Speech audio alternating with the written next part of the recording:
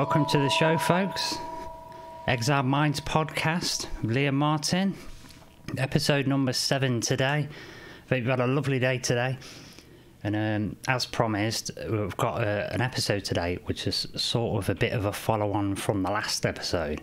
It kind of, this, the two things do kind of segue in together a little bit. So, to this week's ep- this uh, this episode, uh, episode number seven, is going to be about Agartha or Agartha. That's the kingdom inside the earth. Okay, so in this episode, we're going to take a, a, a deep dive or a dig down into the controversial topic of the Hollow Earth. We'll be taking a look at the folklore and uh, seek to understand if, if, if any, if there's any scientific evidence that could possibly support this, and could there be a great city or cities beneath our feet? Because basically the question I want to ask today, and then see what else comes up along the way. So that's what we're going to explore today. And I say it, it segues into the previous episode, number six. That was an episode on uh, looking at um, monster myths. Okay, looking at some of these monsters. So we'll see how that sort of can possibly tie in, and then uh, yeah, just go for it, and see what's what. Okay, so to start with, the idea is that so there's this world that you know is potentially reachable that was sort of lost world that we don't really know about, and it's known as a, a Shambhala or Agartha or Agartha. Okay, and it's supposed to be like a kind of hidden part of the earth, which many cultures have referred to, and it's been in a lot of uh, pop culture stuff as well. In, like in recent Marvel movies based on the you know Marvel comics, Doctor Strange. Okay, that's got that kind of you know that hollow earthy stuff going on, as in it goes through a traumatic experience, finds this strange land, this other place. It's mythical, you know, to me, it's kind of a bit magical place. And the same with uh, DC Comics. We've got um, the Iron Fist. Danny Rand the Iron Fist has a traumatic experience. Plane crashed in the mountains as a kid, ends up at some inaccessible place where there's this city, learns this amazing kung fu and it's only every now and again where it's passable where he can get through the mountains. Okay, the mountains are impassable, but every now and again, for some weird reason, they are. You know, and that's kind of the story of Iron Fist that he ends up becoming this super kung fu master, gets the power, but then suddenly an opportunity.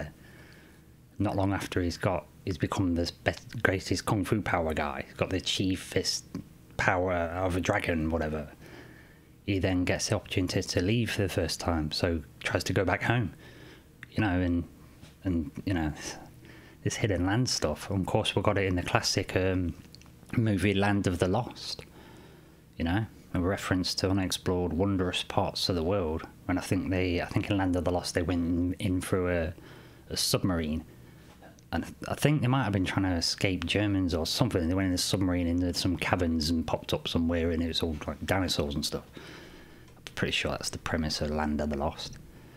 So, I mean, yeah, it's popped up in uh, pop culture this idea that there's lost worlds that we just perhaps, you know, haven't reached, unaware of. Okay? And for me, I think it first starts in pop culture. This this idea with, you know, journey to the center of the earth. Jules Verne, you know, famed uh, sci fi writer from, from way back in the day. Uh, journey to the center of the earth, first published French, 1864, and then uh, it took another 10 years before it was uh, translated in English. So now got the mid, uh, mid to late 19th century, the idea of going to the centre of the earth, and the plot of that, the book, and you know, the films. Is that there's a Professor Otto Lidenbrock. Yeah, it shows you him at the beginning of the film. He's like dashing home, and he wants to pursue this interest. He's got this new antique that he's bought, and it's an original runic manuscript of an Icelandic saga Okay, so this is a, supposed to have been uh, written by somebody called Snor Sturluson. Okay, and it and it's it chronicles this uh, it's a chronicles of a Norwegian king who ruled over Iceland. Okay, and Lidenbrock was his nephew Axel finds a coded written note in runic script, and along is the name of a 16th century Icelandic alchemist. Okay, so um, Lidenbrock's translated a paragraph in the 16th century note written by the alchemist. Okay, so you've got see his, his so he's got his he's got his um, manuscript. You know, he's reading it, and it's basically telling of um, that it's it's in a, what they, call some kind of bastardized Latin, and tried to decipher this message. But in this message that this guy's got, this professor's got, it's like, well, it says, "Go down into the crater of Snæfellsjökull," which um, it says there's a there's a shadow that caresses just before the the calendars of July. So in the calendar time of July, I go to this certain place, and the shadow, oh dear, in traveller, you'll make it to the centre of the earth. I have done so. You know, so it, it, sends him on this this mission to try and find this certain place in Iceland at a certain time of year, where they're going to try and find an entrance inside the earth. You know?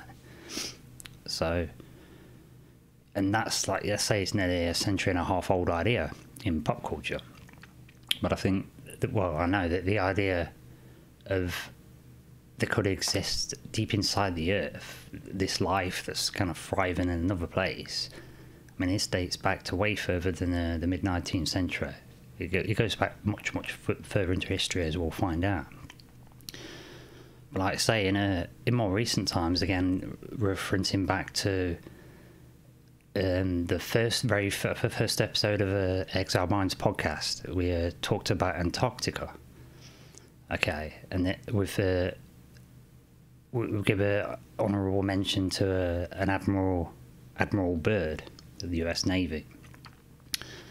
Okay, and in that in that first episode, he's come, he comes up again because it's alleged because well, I mean there was some funky stuff that he had to deal with at the end of the Second World War, which I might get into a bit later. It's, you know, it's covered in the first episode of uh, the Exiled Minds podcast. It was Antarctica, strange life beneath the ice, and you know some potential ancient or alien structures under the poles and whatnot. And, and Admiral Byrd was a key figure towards the end of the Second World War, especially had some big. But anyway, Admiral Byrd comes up here because there's alleged uh, a, a kind of secret diary that he wrote and it was it was kind of involved in some. It was right up there. The youngest ever admiral. So, you know. Anyway, so Rear Admiral Byrd, he's supposed to have this uh, secret diary, and this secret diary, um, alleged that because the well he, he was an intrepid explorer. He wasn't just a navy admiral. It was a it was an intrepid explorer, a real hero and he was an aviator as well. And he used to, he was the first guy to, I think, fly over both poles. I think officially in history, I think he's the first guy to do it. To actually be in an aeroplane and physically fly over the North Pole and the South Pole. Okay. So bear that in mind. He's, I think, I'm pretty well. Yeah, as far as I'm aware, he's the first person to be able to claim that he's done that. That a person's flew a plane over both the North and South Pole. All right. So let's bear that in mind.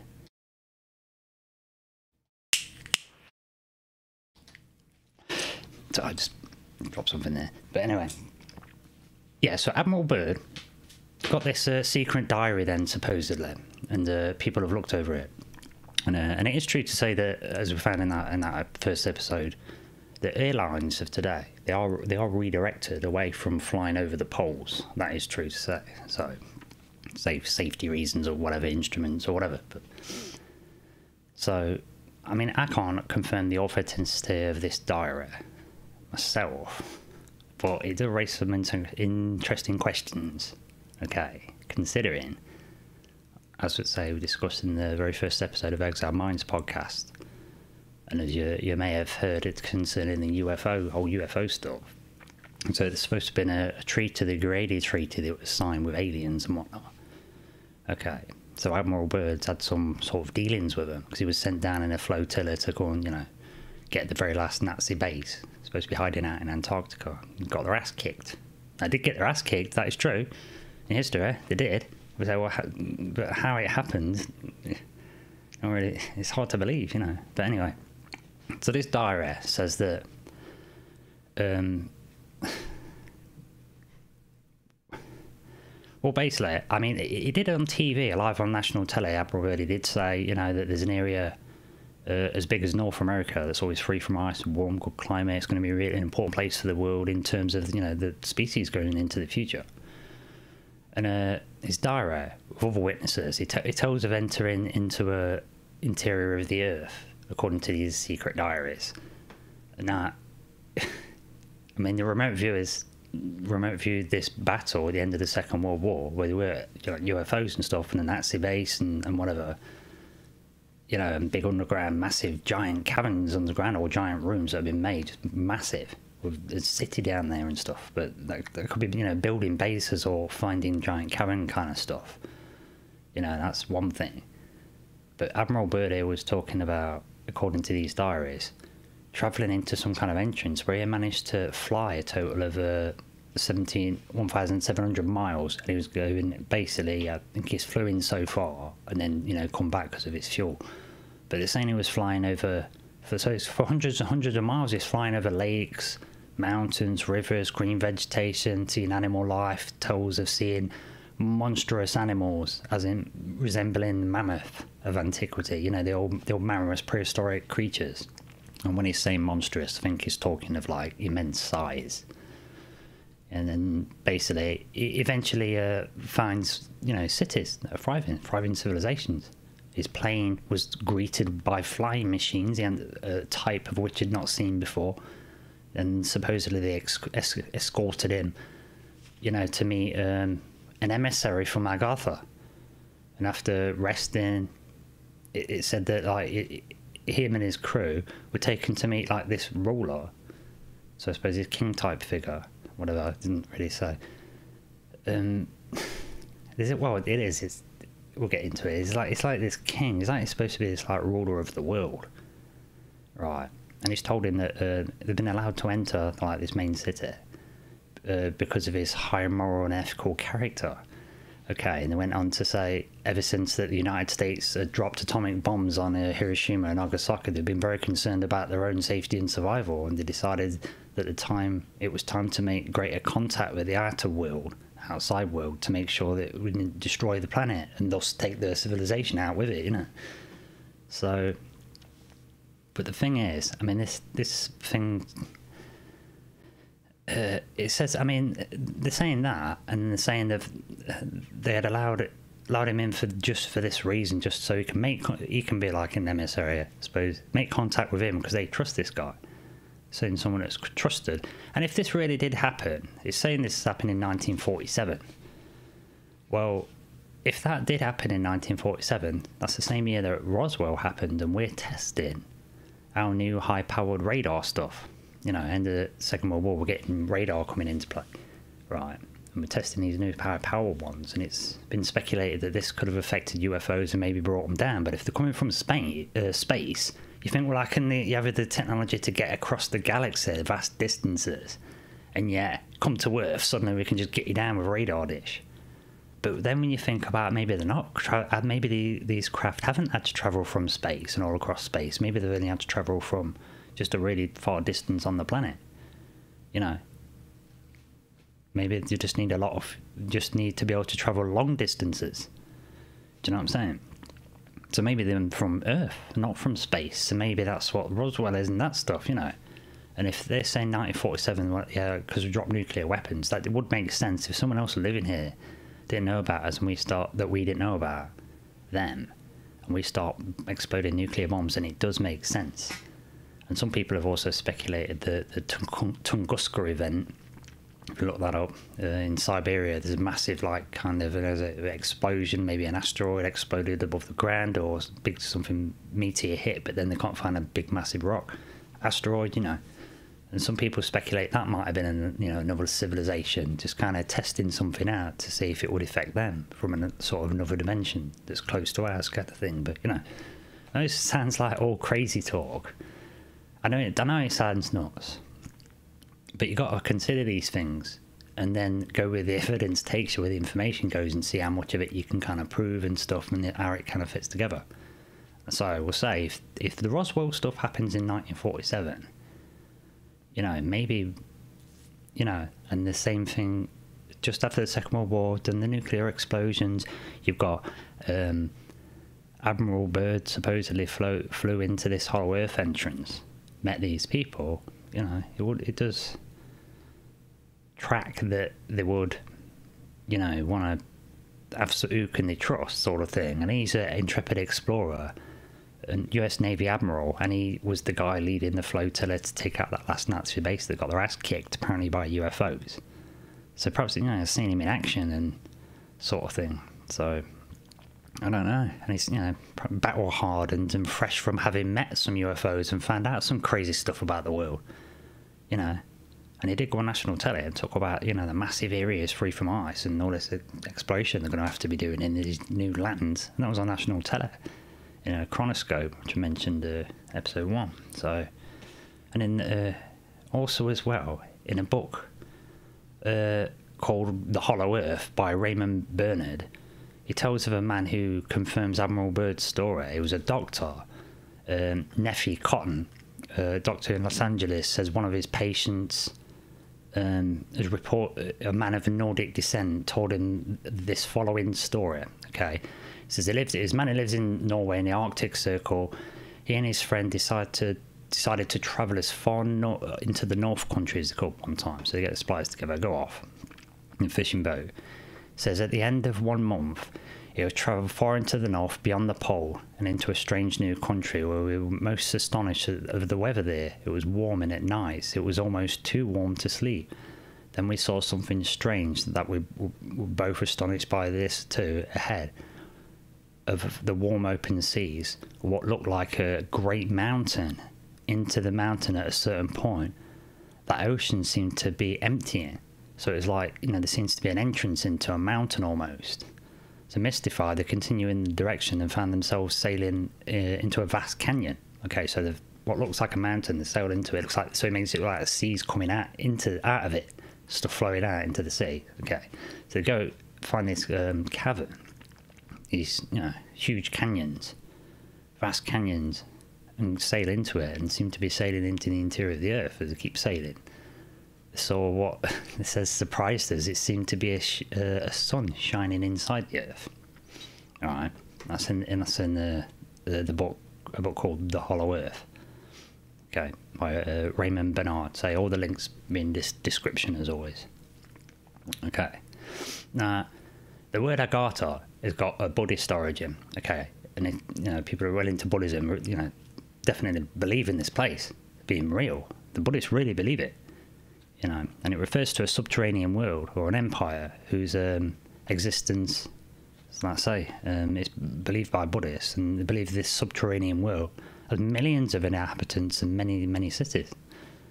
Uh, and all they're all under the supreme dominion of um, of this subterranean capital, Shambhala, or Shambhala, okay, which is the Wi-Fi code that Doctor Strange gets given when he goes to that strange place. They give him this thing. It says Shambhala. He says, "What is this? My mantra?" You know, like no, it's the Wi-Fi code. We're not savages, sort of thing. It's a little joke in the film. You know, Shambhala. That's the, that's the place. So, I say, supposed to be this king there, all right. And it says um, that Shambhala, where dwells the supreme ruler of this empire, is known in the Orient as the king of the world, all right. And it is believed that they give orders to the Dalai Lama of Tibet, who is supposed to be like the, the surface terrestrial representative of the King of the Earth inside. His messages are being transmitted supposedly through certain secret tunnels connected in the subterranean world to Tibet. Okay. To make the long story short, Admiral Byrd and his crew do that, do the visit, meet the people. The plane gets led back to sort of the way to get out, you know, their lives changed, and in a supposedly in January 1956, Admiral Byrd led another expedition to you know check it out again, and the crew managed to penetrate 2,300 miles into the centre of the Earth again. So got a bit further, a few hundred miles further this time. You know, and he said that Admiral Byrd, according to these, maybe maybe not, you know, secret diaries, said there's um, the North and South Pole are two of many openings into the centre of the Earth so, you know, so Jules Verne stuff, of course, you got that, but Admiral Byrd is saying that the the the inner Earth has got a sun too, like the same as this Norwegian guy who's you know the doctor said is you know has got in his son. All right, and went into this mountain, what looked like a mountain, big vast canyon. Okay, but Admiral Byrd's theory, according to these uh, diaries, saying that it's thinking that the Earth at the poles is a is convex instead of uh, instead of concave. What is that? That sounds like the wrong way around, sort of thing, but no. So I, I don't know how that description works. So I think that's switched the wrong way around. Maybe the writer of this bit, I don't know, but yes, Admiral Byrd's theory is that the poles are convex rather than concave. But concave will be bending in. I don't know. I don't know what that is. But yeah, ships and planes can actually fly through it right in. So I think what it means there is uh, it should be con- concave, should be bending in, going in like a cave, like a hole. You know. So I mean, yeah, we'll get, um, we'll get a, an image up of this. Give a bit of a better description for those that um, are looking because it, it is a bit of a weird thing to try to conceptualize. So I just uh, do a quick uh, share screen on this. So I mean, I'll try and zoom in a bit. It's almost I think if you think of it as like a conveyor belt, you know, it's like you go along the surface along one and then it kind of like go around the corner and go back on the underside and then go around the corner again. So think of it a bit like that. I think that's what we're talking like. It's concave, like goes in. I think that's what it's meaning. But yeah, so you can look look up the image and stuff. But yeah, the city of Shambhala is the capital of this Agartha place, and you know. crazy, crazy stuff, man. I reckon you can fly ships and, uh, sorry, fly ships. I suppose we could got flying ships, but yeah, sail ships and fly aeroplanes straight into the north and south. And there's a few other entrances. You know, it's saying here, you know, it's a map actually. It says a, there's one at uh, Mount Pompeii in Italy. There's uh, one uh, Pyramids of Giza, one there. So I don't know. It says it's one in the Darrow Caves. There's one under the ocean. There's a I don't know, man. It's just it says the center of gravity is uh, 400 miles down. So it's like the Earth's crust. Let's say the Earth's crust is 800 miles thick, sort of what they're saying. And after 400 miles, the gravity kind of flips, and so the interior of the Earth, you know, kind of walk in what would be upside down to us, sort of thing. But then the into then the sky then, I suppose, is going to be your sky would be all the other continents all around the world. if you could see that far, the atmosphere, I don't know. So your sky would be all land masses. It'd be crazy to look at with like a sun floating in the middle. Can you imagine that? Just nuts, you know? But yeah, that's what we got. So I mean, that's what this, that's what these things are saying. But that's what the Norwegian sailor guy says, or you know, so I mean, the idea of a secret tunnel, of course, that's always a quite enticing, mysterious thing. And it brings to mind, you know, the rumours of secret tunnels all over the world. You know, these things do exist. And like I say, in the, context of the first episode with the Nazi bases, there's all that, um, they had the underwater submarines, you know, getting pictures of stuff anyway. Um, you've got uh, the Nazi U boats and stuff um, navigating. Um, they've got maps, uh, you know, sort of navigating through the ice. You know, they've got that stuff. That's that's was the premise. Like I say, it was the the premise of um, Land of the Lost. You know, so you've got this submarine that's had to, for whatever reason, you know, navigate its way through and end up pop out somewhere, somewhere else.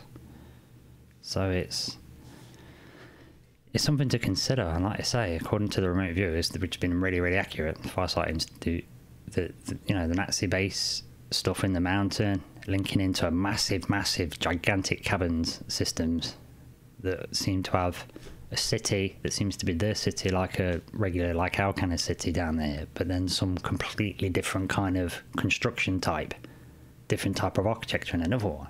You know, speculating, oh, there might be aliens and, and, and such. You know, so it's like, well, what's maybe it's people living un, under there, you know? So, I mean, it's claimed that um, that the, the, the editor there's a, uh, there's a used to be a magazine from the 50s, I think 50 50s till the early to mid 80s. There was this magazine called uh, Flying Saucer magazine, and the editor Ray Palmer supposedly did a detailed story on Admiral Byrd's discoveries.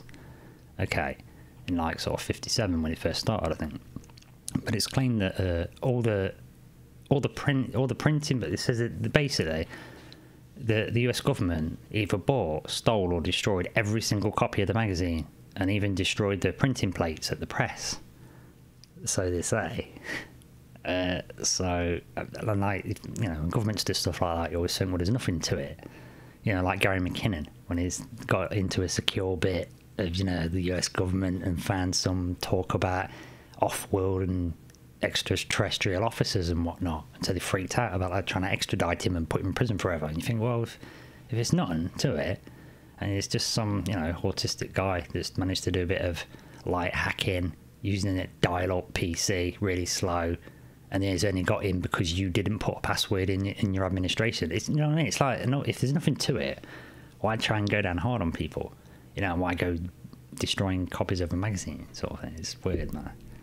You know, why censor things if there's nothing to what people are saying, right? Why censor them? Hmm. You ask yourself that. I've been asking myself that a lot recently, and I bet a lot of people have. But anyway. so yeah, I mean, I don't know. this is this is the thing. There's you know the Germans are on it. Germans are on it. They were talking like um, they had the German Nazis uh, base there. I mean, they all they say they've got maps and stuff, and they've got maps of like um, yeah, I'll share screen again for the people who are viewing.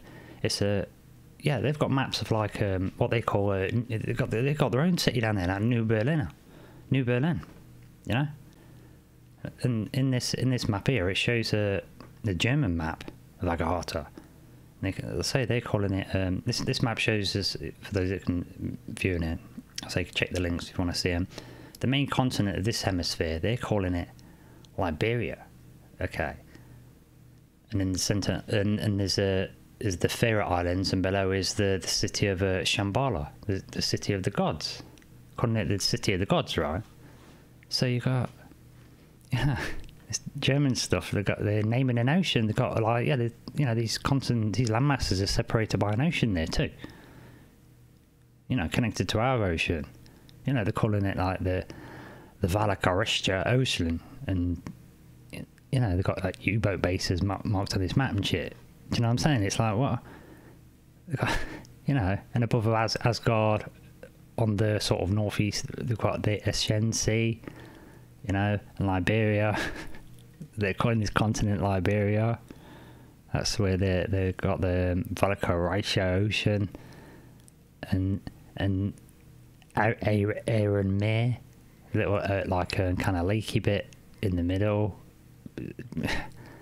Uh, connecting like two kind of land bridges connecting Shambhala to uh, Liberia, and it's like what, you know, because Tibetan monks like talk like it really, really exists and stuff, and it's like you got all these these maps, you know, of ways through to get into it and and what the, the contents are all mapped out like proper cartography and stuff. So. You know, and I'm thinking, City of the Gods. We've heard that before, City of the Gods. And I think, yeah, like tunnels all over the world. And uh, City of the Gods is an ancient site of Teotihuacan, central Mexico. And that's what the Aztecs called it, City of the Gods. You know, one of the great mysteries of the world. Plus, the area Central South America, like I say, it's uh, well known. Well known for uh, not only underground tunnels, and there's un- underworld mythology with the, the, Aztec myths and legends that are well known for this. Uh, um, what's known as uh, Chicomoztoc, the place of the seven caverns in, in Mayan creation story. You know, they've got the underground kingdom of Xibalba. That's saying that's, that's totally real, physical place from which humanity has emerged at the dawn of time. Caves and ancient tunnels are believed to be the gates of the mysterious subterranean underworld.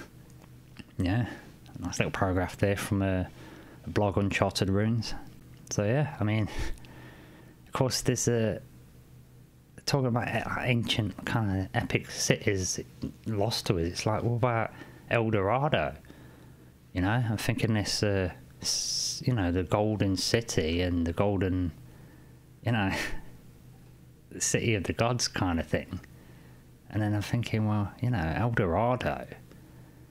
It turns out that originally that that meant El Hombre Dorado, So it's like the Golden Man, you know, and then it becomes El Rey Dorado, Golden King. And then over time, the term is used in the Spanish 16th century to describe a mystical tribal chief, Zipper, Zipper of the uh, Musica people, an indigenous uh, people of Altiplano. And I think, uh, uh, okay, so in, in Colombia, you've got this initiation rite where you, you, know, you cover yourself in gold dust and be submerged into Lake Guatavita. So legends surrounding El Dorado, uh, you know, it's kind of changing the meaning a bit over time as it went from a man to a city to a kingdom and then finally an empire. But a king covering himself in gold dust. Got another notable inclusion there with the practices of Egypt, and that's reflected in the Stargate pop culture story, where there's a scene in the in the movie where Ra, son of God, city of the sun, gold, son of God, Ra, gold the, the top metal in alchemy, and you know, and Ra in the Stargate film is doing the male Cleopatra thing. You know, you know, in the gold dust, and also Musica people could that even be a reference to the fabled um, continent of Mu? Or Lemuria? You know, as supposed a continent lost to us in the ocean, akin to like the Atlantis story, but then that was because of like finding the, it was thought there might be a you know well Lemuria and there's well Wikipedia says um, Lemuria or Lemuria is a hypothesized um, continent proposed in 1864 by zoologist Philip Sclater. Okay. So, and he's saying that um, it, uh, it could account for some stuff because they find uh, lemur fossils in Madagascar, in India, but not in Africa or the Middle East. They thought there might be something that's kind of connected, connected the you know sort of two together. There could be an ancestral home of mankind caused by the hypothesis uh, beyond is beyond the scope of geology. So, the, you know, it, you know, is this a reference to that place, Lumeria, Liberia?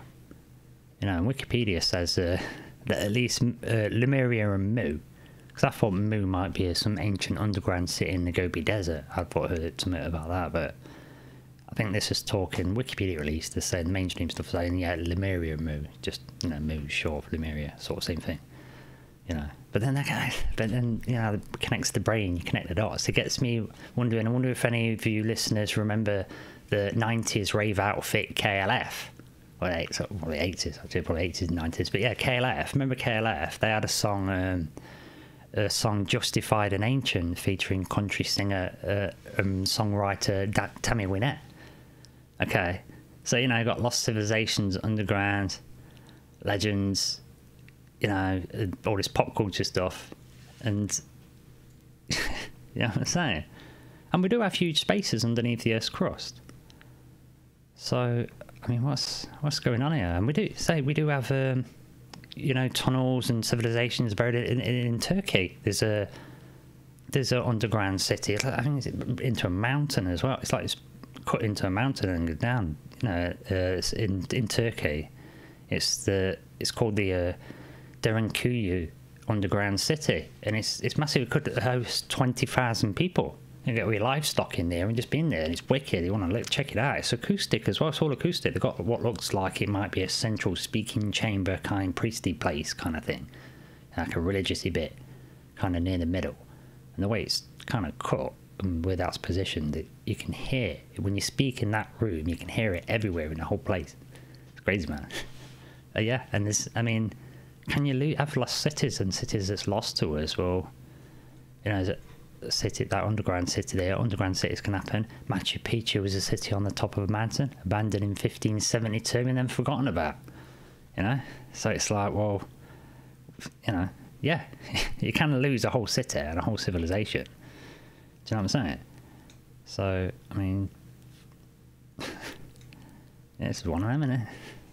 So, I mean, there's also like um, there's also controversial evidence that uh, past decades it says in the rainforest, right? You know, up the, up the Amazon, yeah, and people went there, same sort of time, like um, 15, you know, mid 16th century, uh, up the Amazon, Europeans go, uh, document all these people, great cities, go back a few decades later, none of it there. Think what's going on? Must be mythical, but no, no. Some of the, the sort of European diseases have you know wiped them out or whatever, and uh, the jungle over a few decades has um, taken over the stone structures and all the, the wooden structures and stuff that they're supposed to have had on top, connecting the treetops together, you know, keep them off the jungle floor. It's uh, that's all going to you know fall down, rot away over time for the decades, and then no trace of them anymore. Jungle reclaims everything, you know, and so there's um, there's evidence that uh, past decades of the Amazon rainforest was once home to a, a larger large populations of people. Besides well-known empires of the Inca, the predecessors to Haori, millions of people once lived in the rainforest and shaped the environment to suit their own needs. Okay, and there is terra preta comes from there, which is an engineered soil that's that is the most fertile soil in the world. Because it was often argued that the soil in the rainforest isn't fertile enough for large scale agriculture, but it absolutely turns out it is. Because somebody's literally engineered soil recipes to make this microbiological process take place in the soil where it's super fertile and essentially grows so much every year. So, you know, yeah.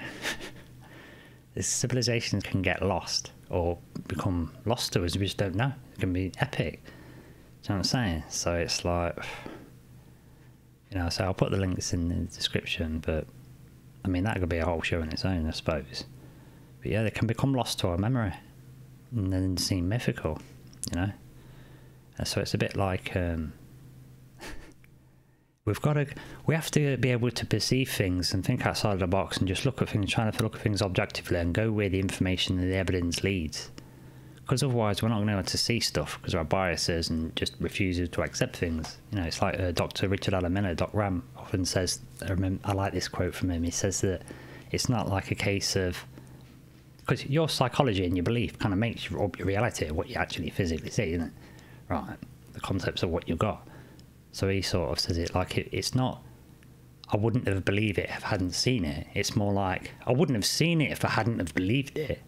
And much indeed, much like the conquistadors, talking of uh, Spain and Central Americas and stuff, the conquistadors when when when they when they were charged to go and do conquest in the Americas by Spain, they in fact did right about uh, lot, most of the locals couldn't see the ships because you know, and I'm thinking perhaps that's because they had no concept to go sailing. So you know, big massive sailing ships like square cities on the that you float across the ocean. It's just too alien a concept to be visible. And they wrote about that, that sort of concept. So, you know, it's crazy. But then there's, there's another account talking about, bear in mind, the Norwegian sailor, this doctor saying that, you know, this Norwegian sailor or this Norwegian guy ended up going to this place, you know, in the, the book The Hollow Earth. Well, there's another book, The Smoky God. Bear in mind he's talking him and his friend went to go and travel north and they saw this mountain. Well, there's a book called The Smoky God. It's supposed to be a biography of a Norwegian sailor called um, Olaf Jansen. Okay. Uh, the author is uh, William William Emerson. He, he was charged with the task of chronicling this guy's like dying Norwegian guy's story. Okay, and he's giving me his crude maps and exclaims to him, "Oh, I'll leave this in your hands. If you can, if I can have your promise, you'll sort of give it to the world, and I shall die happy." Sort of thing, isn't you know? Because it's like, because this guy, man, oh, he had a really hard time. People don't believe in it. You know, he had a really, a real tough time, and he's basically saying, "There's no chance you'll suffer the same fate as me. They're not going to put you in irons. They're going to confine you to a madhouse." for telling your story because it's not your story, it's my story. So, you know, this isn't thank the, the gods and Odin and Thor. If you're able to tell my story, then I'll go to my grave happy, sort of thing. Because the disbelievers won't be able to persecute you.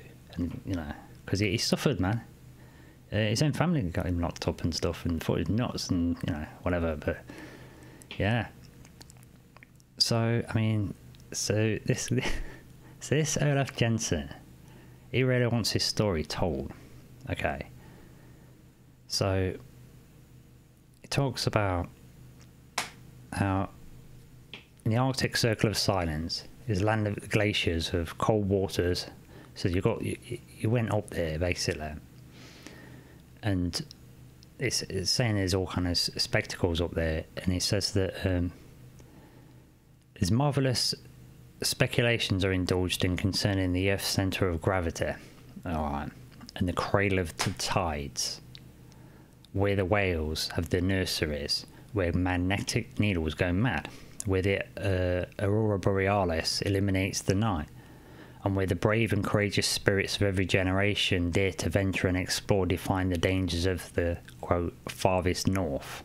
All right, uh, famous Russian channeler Nicholas Roerich, who channeled supposedly ascended Master El Morya, claimed that Lhasa, the capital of Tibet, was uh, connected by a tunnel to the inner earth, which took it to Shambhala. Okay.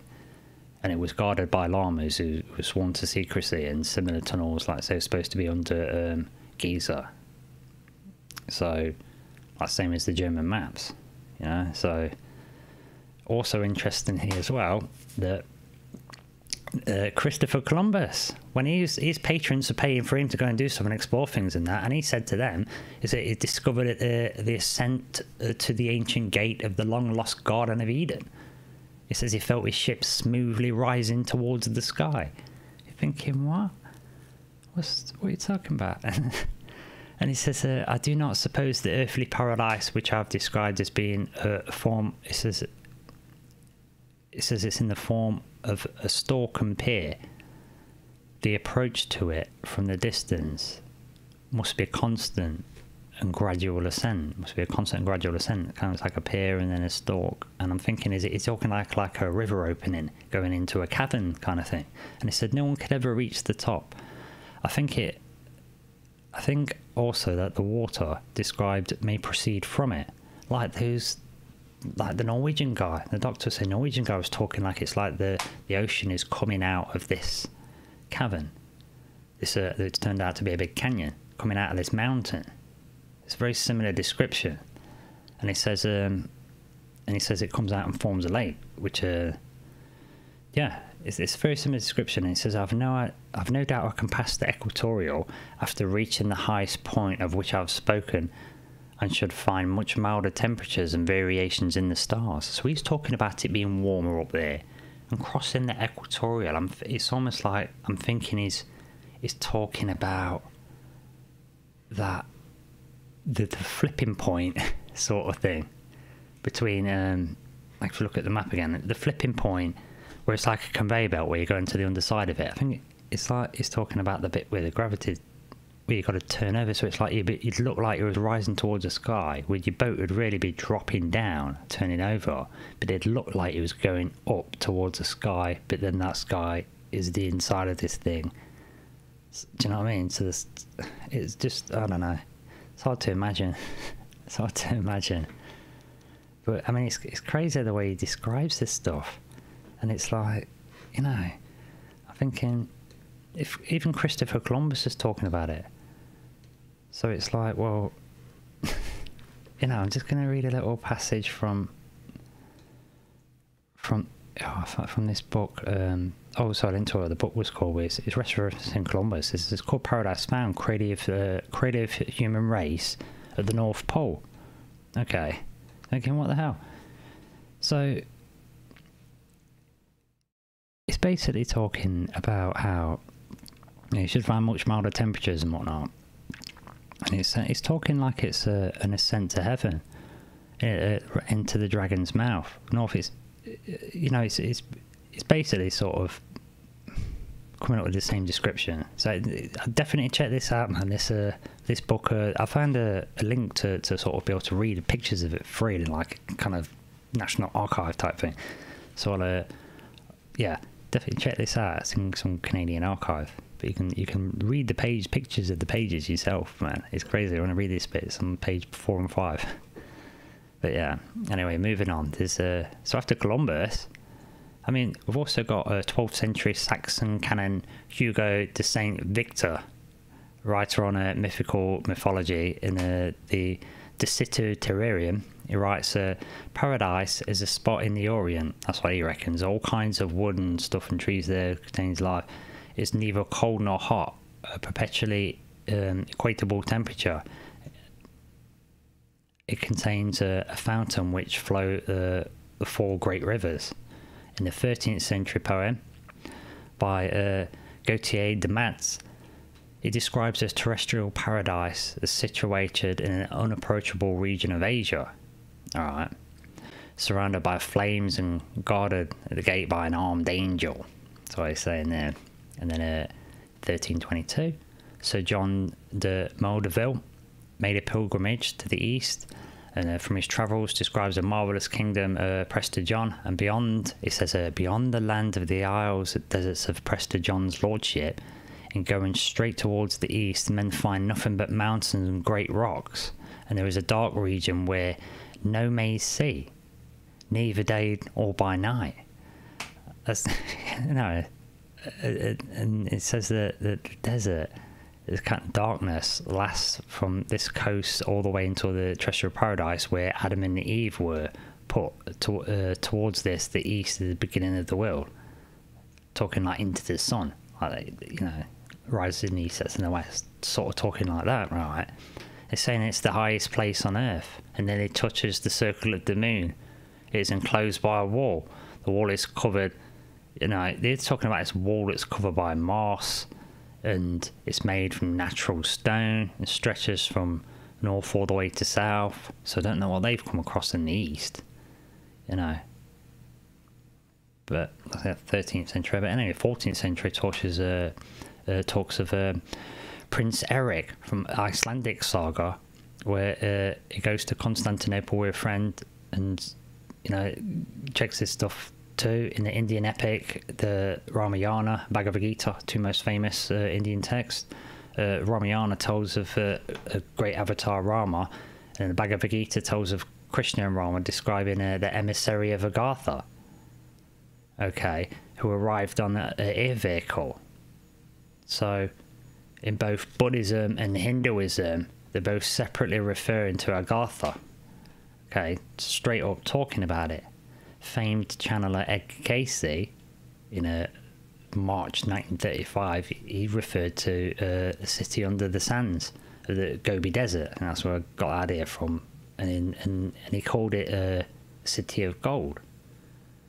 Do you know what I mean? It's like there's almost like these things are sort of mixed mixing together, you know. And it's so lives the ruler lives in an esteemed temple. Uh, so Cayce, psychic and channeler, you know.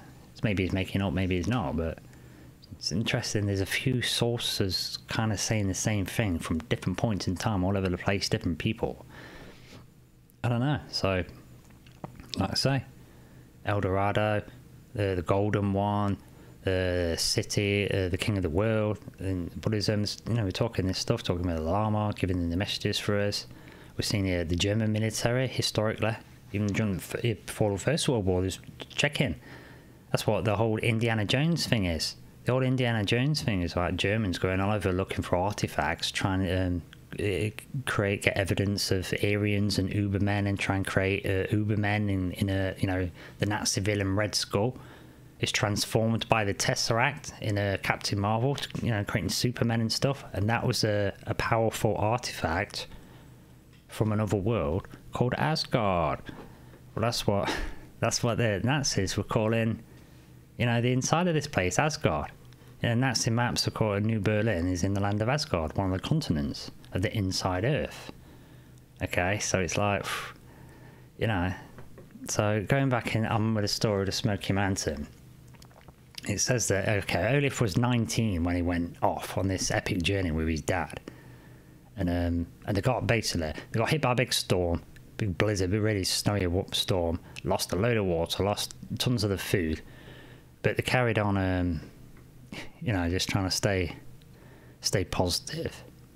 And uh, he, he, was talking about um, he really believes in like Odin and Thor, and he's very traditional. His father was, and he explained how uh, northwards is the land more beautiful than mortal men can can ever know. He really believed in this place, and it's like trying to take his son there. He said it was inhabited by the chosen, this special other place, and it's that's kind of reminds me a bit of again pop culture, Marvel Agents of Shield. They've got these people known as the Inhumans, where they're put through this this process that kind of turns them to stone and they either die or become like you know like X Men mutants kind of thing. Sort of powers, the special and the chosen, sort of you know becoming something a bit more kind of thing. It changes them a lot, you know. But anyway, going on back on. So he's talking about going up there. Um, this instead of cold as anticipated, it was warmer and more pleasant, right? Than it had been on uh, Norway when they was there before on the north coast six weeks before. So it's got warmer after six weeks of sailing, going further and further north. As they travelled further north, according to Olaf's father, there was hit, say, by this uh, big snowstorm, mashed them all up, but kept to it, you know. And um, and and, it, and he's, you know, he was saying uh, uh, his, dad, his dad stayed really positive about it all. Do you know what I mean? He's a real hero sort of thing, and uh, keeping his chin up. And then, uh, but there was panicking about all the water being washed over. But then, after a bit, they, they realised that that the water that they were travelling in sailing through was fresh. They couldn't believe it. They figured that out. So it's like, oh my god, it's the gods have saved us, you know, sort of thing. So, so I mean, yeah. So they got fresh water out of the sea, which is a bit strange, you know. And and look, icebergs are kind of like fresh water too. think where are they coming from, you know?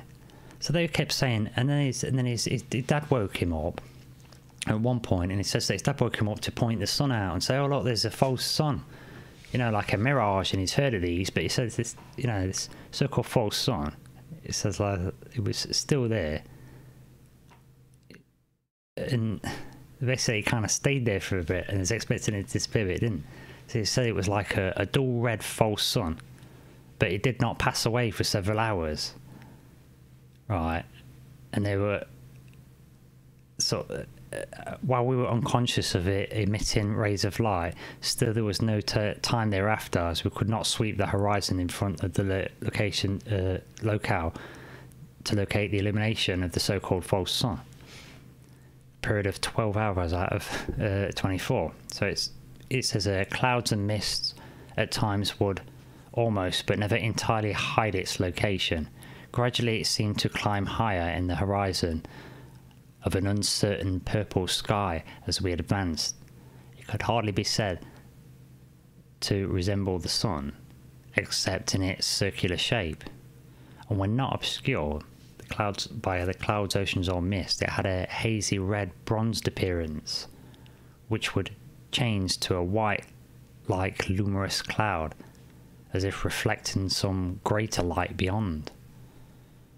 We finally agreed in our discussion of this smoky furnace coloured sun that whatever the cause of the phenomenon, it was not a reflection of our sun, but a planet of some sort in reality and thought, well, that's that's a bit strange, man. It's like the thing, the seeing a planet, you know. And then this, so basically, the sea land. Did you eventually get to land? Find some nuts on there, eat some nuts, you know. And I calculated how long. They said they was. They thought they'd been going for about five months. So four, four and a half to seven miles an hour is the average speed. Calculate at top speed seven miles an hour. If they sail for twelve hours a day every day, it goes 2,450 mile at the slowest wind speed, sailing 12 hours a day. They'd go 1,475 miles, so 1,000, 1,500 to 2,500 miles roughly. So that ties in with as far as Admiral Byrd needed to go to go and see some of this stuff. So I don't know where he flew from, but Norway would be a good Scandinavia would be the most obvious place to go in through the North Pole. But anyway, yeah, or or Canada, you know, Canada, you know, yeah, whatever. So you know, it's about the distance seems about right. If there was, I don't know, I don't know. But it says yeah. It says, but they go in there. They so they come into this like mouth, what looks like a massive river, just like the other guys discovered. That's why I call it the Smoky Mountain, because it's like and this smoky god. It's like they go into this same thing. This sort of like you get to this certain point, and it's like almost like a river opens up and you go in, go through this place and it's these caverns, uh, these big canyons and that, and you know, you got in there, and it's like they find they meet these people in these ships, they're massive, you know, and I mean, these people, the huge gliding ships coming down the river towards them. It says aboard the ship we're singing, singing one mighty chorus, echoing from bank to bank, sounding like thousands of voices, filling the whole universe with a quivering melody. Okay, and basically what it is is people on a boat. There's people on a boat, and they're really big, just like giants. You know, it says uh, six men of gigantic stature. Uh, row our little fishing boats. It says uh, they spoke a strange language, right? And you know the guys, immense boats. they lowered some guys down. it says uh, they lowered six men out of gigantic structure and rowed and rowed to our little fishing sloop. it's like uh, these guys are huge. But it says we're not unfriendly. They talked a great deal amongst themselves, spoke a strange language. Um, as if and they was getting the impression they thought there was you know there's a bit of a strange discovery. And when they spied the uh, compass which looked like they'd, uh, they'd screwed that to the uh, to the wood to the crossbeam so they didn't lose that uh, in the storm. But yeah they was finding the compass really really they was really interested in the compass you know. And they went to go meet um, this this priest who's you know says what do you want to do? Do you want to try and get back or what? Because it might be not possible to get back. And they're asking questions where they come from and stuff. And it looks as if it's that the poles so what they're saying is from the story and description the poles gather at, like the coldest spots but once you get more towards the inside it gets warmer climate just like ours you know get close to the equator it gets warmer and warmer because they're supposed to have this kind of central sun whatever it is. So ice so big pack ice stuff just form around the north pole and would form around and you know would form around the south pole but there's already a continent there. So you got that's cold still right? So it looks like through the North Pole they've had to decide to get the way they get out. They have to navigate in, in you know, like um, like doing the cannonball run type thing, getting in between um, massive icebergs and stuff that are just gigantic. So I mean, it's really, it's really crazy stuff. It's really really crazy. You know, I know how it sounds. I really do. I know I know how this crazy stuff sounds. But the thing is there's a few different accounts of this of people actually going there. Yeah, let's have a look at.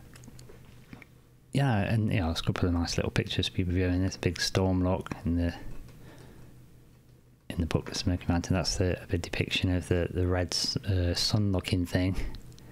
There's, these are the men that have found him on the boat, and a quick little picture of meeting the uh, the wise priest, who's a bit taller than the rest of them. Seemed really nice. Spoke with him for two hours.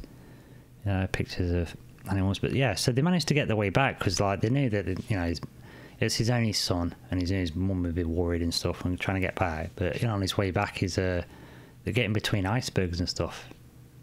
You know, massive. And one of them uh, flipped up, snapped, caught the underside of the boat, flipped him over, left him stuck on an iceberg. The boat on his side, his dad gone. You know what I mean? Kept walking round and round this iceberg, looking to try and find his dad, terrified to stop looking, like admitting defeat.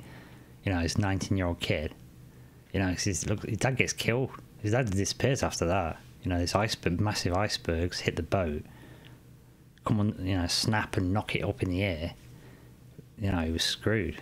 But according to the story, uh, the Smoky God story, Olaf Jansen, he's uh, yeah, he was really really lucky that um, it, someone had seen him, some whalers had seen him, because probably because of him walking around and around, had spotted him and they wanted to know what he was doing and this, that, and the other. And it's it was just saying, well, you know, he tried to tell him the truth, you know, about these these giants and the boats that had these big spinning discs on either side, like they sound like gyroscopes, and some conversations about uh, gravity keeps stops. It's like a big monorail. Took him on a monorail to go and see this uh, priest guy.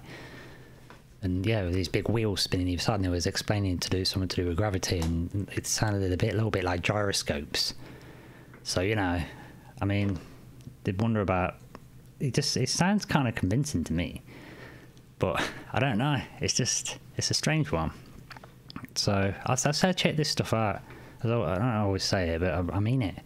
I really mean it. Go and check this stuff out because there's some some crazy stuff about this. And say it's coming from Hinduism, coming from Buddhism. NASA's doing stuff down there. You're not allowed to fly over the poles. There's loads of crazy stuff going off in Antarctica. Yeah, you can easily lose a civilization. Göbekli Tepe, that was another show. Karahan Tepe, sister of Göbekli, did a show on that. Göbekli Tepe and Karahan Tepe, they're massive ancient cities, oldest cities that we know of now, oldest megaliths we know of now. And that was intentionally buried.